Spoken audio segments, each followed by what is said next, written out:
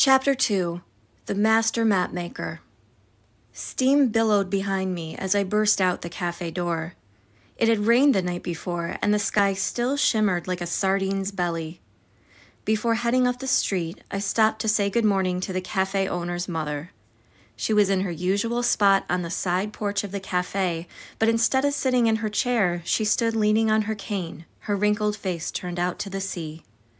Good morning, Grandmother Noom, I said softly. She couldn't see any more, but the woman could hear like a fox. I put my hand over hers, touching the dark green lines of faded tattoos that snaked up her wrist and disappeared into her sleeve. Grandmother Noom had been a merchant sailor when she was younger. I like to imagine her as a pirate. Can you smell the sea from here, Grandmother? I asked. I can always smell her, she said without turning her head to me. Do you hear them? Hear what? The hammers ringing down in the harbor, she said in a hoarse whisper. I listened, but I couldn't make out anything over the sound of people talking in the cafe, greeting one another in the street. Grandmother turned her eyes to me, looking past my face. They're ready in the boats, she whispered. I can hear 'em hammering the copper to the hulls. We're going to war again. I patted her papery hand. I've only ever known her to be sharp as a tack. Maybe her age was finally catching up to her. I'm sorry. I have to go or I'll be late. I helped her back to her chair and bowed, even though I knew she couldn't see it. I crossed the street and headed uphill toward the paper district. I turned onto Plumeria Lane, holding the porridge steady as I climbed the narrow stone steps. Up I went, past the bookshop, the paper maker, the calligrapher, the other bookshop, and the art dealer. All along the way, tidy shopkeepers in tidy aprons were busy sweeping the front steps of their stores. This had to be the cleanest street in the city of Anlong. The only thing allowed to litter the ground here were the pink and white blossoms of the plumeria trees that hung over the shop windows. In a place this serene, how could anyone believe we were going back to war? After two decades of fighting every neighbor in striking distance, the kingdom of Mangkon was bigger and stronger than ever. We finally had peace. We had security. It meant I actually had a good job for once. At the top of the hill, the Temple of Nine Islands loomed over the street. The monks had come back from their morning walk by now, and they began ringing the temple bells, deep and slow. I was still early for work, but my feet skipped every other step until I finally reached the shop. Over the front window, a cotton banner swayed gently in the morning breeze. The words painted on the cloth read, Paiyoon Wongyai, Master Mapmaker. I twisted my key in the front door and closed it softly behind me.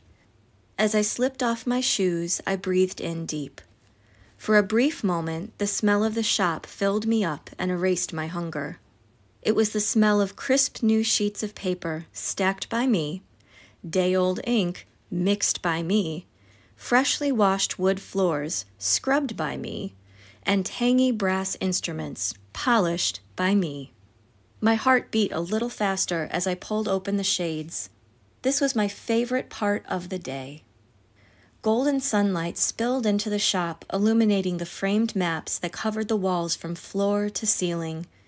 Master Paiyoon had been the master mapmaker of the Mangkon Royal Navy for more than 20 years, the entire duration of the longest war. He had sailed all over the known world, charting more of it than anyone in Mangkon. The sheer cliffs of the Hinder Range, the puzzle piece islands of the Padu archipelago, the ice clogged shores of Wilna, and tiny, distant Machka. Paiyoon was the last mapmaker of his kind still working in Anlong. He used old fashioned map making techniques, drawing coastlines as intricate as a lace collar. This meant that he worked slowly, but in the end, each map was exquisite enough to hang in a museum. Some people in Anlong said that man would draw the pebbles on the beach if he had a pen fine enough. Others said the spirits must have blessed him with a gift of far sight. And still others said, in frightened whispers, Stay away from that old Paiyoon. Everyone knows he sold his soul to a demon in exchange for his map making talent. I liked that one the best. The shop door creaked open behind me. I set down the breakfast porridge and bowed as the master mapmaker walked in. Blast it, Sai, you are always early. He scowled at me worse than if I had been late. His arms were full of papers, and I rushed to help him before they all scattered to the floor. Windows, windows, he chided me. You keep this place too stuffy. Master Paiyoon slipped off his jacket and tossed it to me. He shuffled, belly out, to the counter at the back of the shop while I cracked the windows. I heard him groan as he bent to reach the lower cabinets. Not exactly the image of someone who made bargains with demons. I still hadn't figured out how old Paiyoon was, but his slow shuffle and his snow white ponytail put him at least in his seventies. I joined him at the counter where he had poured the porridge into two ceramic bowls. He didn't thank me for getting it, just handed me my portion. I started to take a sip. No, no, Paiyoon interrupted. You can't eat it like that. Here. He reached for the spicy vinegar and ladled two big scoops into my bowl.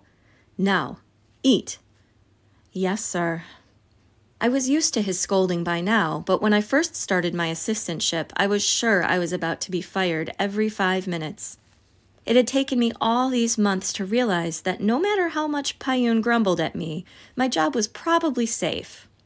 Seven months ago, when the peace declaration was signed, Paiyoon did what every shop owner in Anlong did finally hired someone to help out. After so many years of having to go without, the whole city was in a rush to get back to normal business. I had been working for one of the shrimp stalls in the Gold Hope Harbor Market and had just dropped off a delivery on the other end of Plumeria Lane. As I passed Paiyoon's shop, a teenage boy burst out the front door, his clothes covered with ink and his face full of terror. Paiyoon chased the boy away, shouting that he had ruined two months of hard work with his sloppiness. Then the map maker had bellowed into the street. Doesn't anyone around here know how to use a blasted ink pen? I raised my hand. I was hired on the spot. Paiyoon must have been desperate. Usually, assistantships were arranged by family connections. If he hadn't been in such a hurry to hire someone, my job would have gone to one of those stuck up kids I stood in line with at the cafe every morning. I knew how lucky I was, but I was still ready to bolt if Paiyoon ever started asking too many questions. So far, he hadn't asked me any questions about my life at all.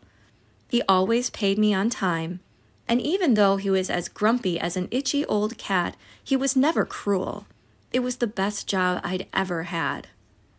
I raised the steaming bowl to my lips and took a slow sip. The porridge was mushroomy, oniony, and fishy, and yes, I had to admit that it was better with the spicy vinegar. If demons really did bargain for souls, I would have sold mine to eat that porridge every day. Master Paiyoon slurped his portion down and wiped his fluffy mustache with his handkerchief before reaching into his waistcoat pocket. Too much work to do, never enough time to do it, he grumbled as he shuffled to his desk. He said this so often that I considered it his morning prayer. He brought out a polished gold disc and, with a quick snap of his fingers, flicked open the latch. He swiveled the lens out from its case, held it up to the light of the window, and began his morning ritual of cleaning it. The glass had a faint golden tint to it, and in the sunlight it glowed like a shard of amber. This was Paiyoon's eyeglass, his most important tool. He used it to magnify the tiny pen strokes on his map paper, but it could also be used to see far into the distance. I'd always wanted to look through it, but I hadn't gotten up the courage to ask.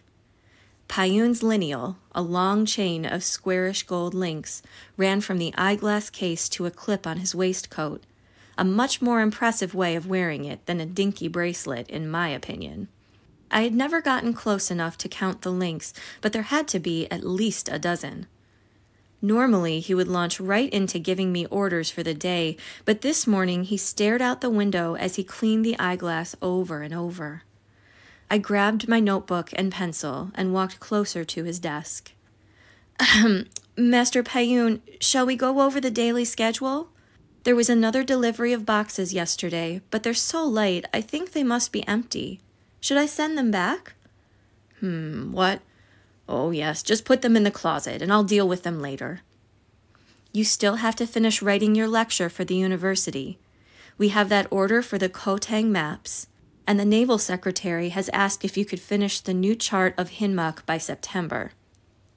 One result of winning the war meant that all the conquered places got new names, which was a pretty good deal for someone in the map making business. Paiyoon curled his lip as if he'd gotten a whiff of bad fish. Hmm, waste of time. They'll just have to change the names back again after the next war. Um, yes, sir, and I guess you do have a lot of work on your list already. I tapped my pencil against my notebook. Maybe you should focus on writing that lecture and I could work on making the copies of your map of Kotang. Master Paiyoon suddenly swiveled to look at me. His eyes, which had stared blankly out the window a moment ago, were now focused very keenly on my face. Make copies of my map? Do you think you could? I had traced copies of other people's charts for him before, Simple things that were beneath the master's skills, like a chart of the fishing canal in Pristine Bay or a road map of some backwater province. But even though I had been working for him for six months, I had never been trusted to recreate one of Paiyoon's precious maps. I only thought I was trying to help, sir. Paiyoon stared at me the same way he had stared out the window, as if he were trying to see past the horizon. He picked up his pen and held it out to me. Show me. I looked down at the pen and then back at his face. He was acting so strangely. Was this some kind of test? The first rule of being an assistant is humility. An assistant must never boast that they can do the work of their master. I swallowed my pride and cast my eyes down at my shoes. I'm sorry, sir. I don't know what I was thinking. Of course, that's far beyond my skills. Paiyoon's bushy white eyebrows furrowed to meet in one line. He opened his mouth to speak, but before he could get out a word, our doorbell jingled. He shooed me toward the front. That's the post. I'm expecting something, Sai. Quickly, quickly, to the door. Relieved not to be in trouble, I hurried to the front of the shop. I swung open the door and nodded to the delivery girl before taking the mail from her. There was just one letter, I could tell from the thickness of the paper that it was from someone important. Master Paiyoon sliced through the envelope with his penknife. I started clearing away our breakfast, keeping my eyes on his face as he read the letter to himself.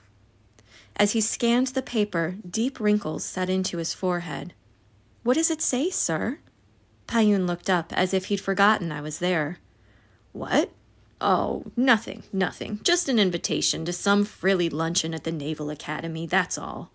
He waved the letter back and forth as though it wasn't important, but the wrinkles in his forehead stayed put. He pointed to the counter behind me. Back to work with you, he said gruffly. We've both wasted enough of the morning. As I set to work washing out the inkwells from the day before, I snuck a glance at old Paiyoon. He sat back in his chair, flicking the eyeglass in and out of its gold case, staring at the drawer where he had placed the envelope. That letter was no luncheon invitation. Paiyoon might have been the master mapmaker, but when it came to lying, I was the expert.